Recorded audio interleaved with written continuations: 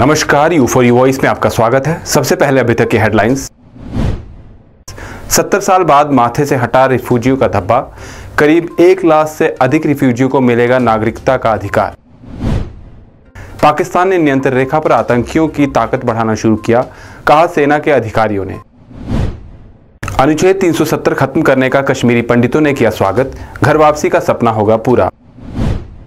दूसरे दिन भी तारबंदी की गिरफ्त में रहा मंदिरों का शहर, चौराहों मोहल्लों में सुरक्षा कर्मियों की तैनाती।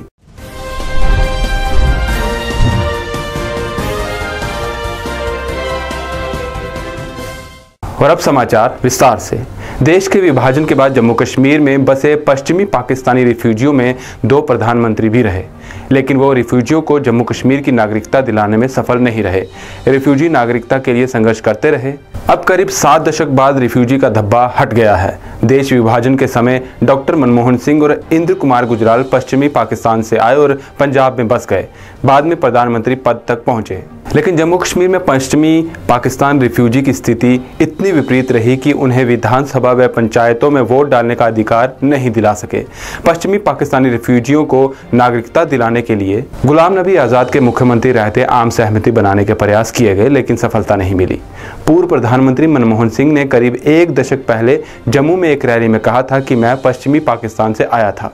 देश के प्रधानमंत्री पद तक पहुँचा, लेकिन जम्मू कश्मीर में बसे पश्चिमी पाकिस्तान के रिफ्यूजियों को नागरिकता का अधिकार नहीं है। इस बारे में पार्टियों को सोचना चाहिए।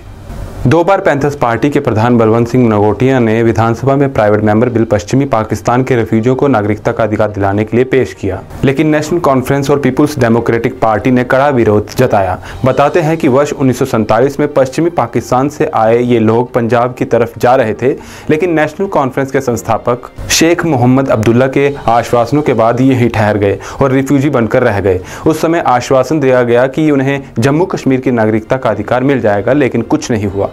अब मोदी सरकार के फैसले से करीब एक लाख से अधिक रिफ्यूजियों को नागरिकता का अधिकार मिलेगा। पाकिस्तान ने पिछले कुछ दिनों में नियंत्रण रेखा के साथ बनाए गए लॉन्चिंग पैड पर आतंकवादियों की ताकत बढ़ाना शुरू कर दी है। जम्मू कश्मीर में घुसपैठ कराने के प्रयास भी तेज कर दिए गए हैं।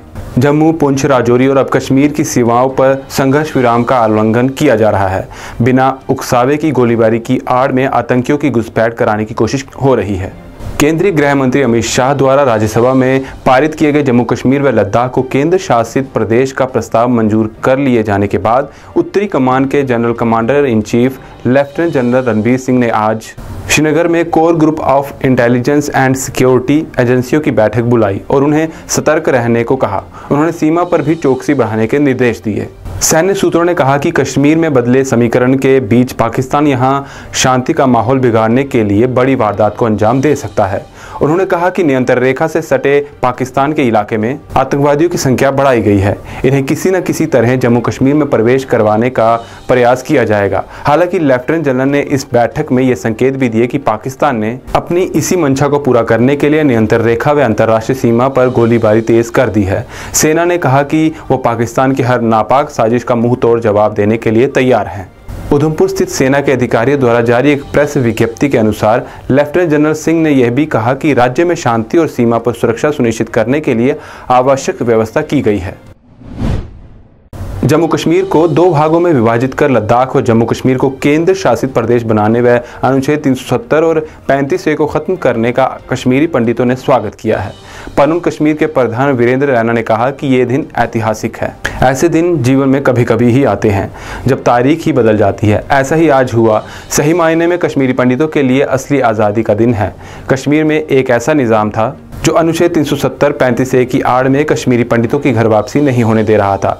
अब पूरी उम्मीद है कश्मीरी पंडित अपने घरों को लौट सकेंगे। ऑल इंडिया कश्मीरी यूथ समाज के प्रवक्ता अजय सफाया ने कहा है कि कश्मीर से पलायन करने के 30 साल बाद कश्मीरी पंडितों को आज असल आज़ादी मिली है। अब जम्मू कश्मीर में एक विधान, एक निशान होगा। आज नए युग की शुरुआत हुई है। ऑल इंडिया कश्मीरी यूथ समाज के अध्यक्ष पंडित ए के भट्ट ने कहा कि अनुच्छेद 370 ही राज्य के विकास में अड़चन थी। माहौल खराब कर रहा था। अनुच्छेद के खत्म होने से जम्मू कश्मीर में एक नया अध्याय शुरू हुआ है। जम्मू शहर व उसके आसपास के क्षेत्रों में मंगलवार को दूसरे दिन भी पुलिस प्रशासन द्वारा लगाई गई पाबंदियाँ जारी रही।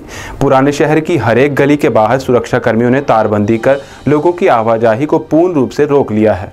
बिना ठोस कारण के किसी को भी जाने की इजाज़त नहीं दी जा रही है। शहर के प्रत्येक चौक चौराहों में आर्म्ड पुलिस के अलावा केंद्रीय रिज़र्व पुलिस बल के जवानों को तैनात किया गया है। दूसरे दिन भी शहर से यात्री वाहन नदारत रहे, जिसका सबसे अधिक खामियाजा विभिन्न रेलगाड़ियों में आ रहे यात्रियों को भुगतना पड़ा। उन्हें अपने गंतव्य की ओर रवाना होने के लिए खासी दिक्कतों का सामना करना पड़ा। यात्री वाहन उपलब्ध न होने से लोग अपना सामान स्वयं उठाकर रवाना होते हुए देखे गए। मोबाइल इंटरनेट अभी भी बंद है और प्रशासन ने एहतियात के तौर पर स्कूल कॉलेजों को भी बंद रखा है। इसी के साथ अभी तक के बुलेटिन में इतना ही। दीजिए इजाज़त और देखते रहिए यूफो वॉइस नमस्कार।